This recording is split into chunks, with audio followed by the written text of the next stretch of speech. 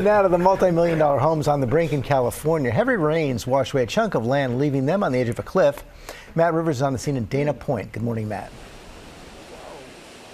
Good morning, Georgia. People here on the beach at Dana Point eyeing these cliffs a bit more warily this morning after rain and then a landslide with more rain to come.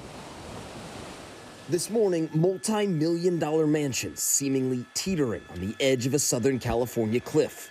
Tons of debris shearing off in a landslide during torrential weekend rains. I would be very nervous if I lived there, certainly. No one was hurt, and amazingly, county officials say the structures are not at risk of imminent collapse. One of the home's owners telling our station KABC that his house is safe, not red tagged by the city. From down here on the water, you can really get a sense of the amount of damage, all that dirt and rock cascading down the cliffside. This could have been so much worse, and of course, there's fears that it could happen again.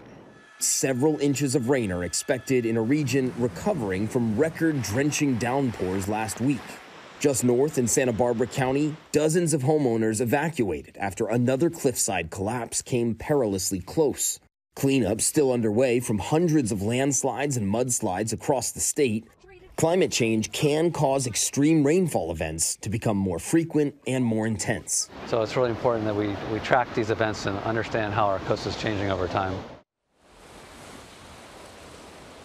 Now, no one's buying a home, guys, at a place like this without understanding the risks that are associated with that kind of a purchase, but still those risks a bit more real this morning.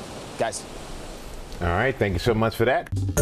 Well, hey there, GMA fans. Robin Roberts here. Thanks for checking out our YouTube channel. Lots of great stuff here. So go on, click the subscribe button right over right over here to get more of awesome videos and content from GMA every day, anytime.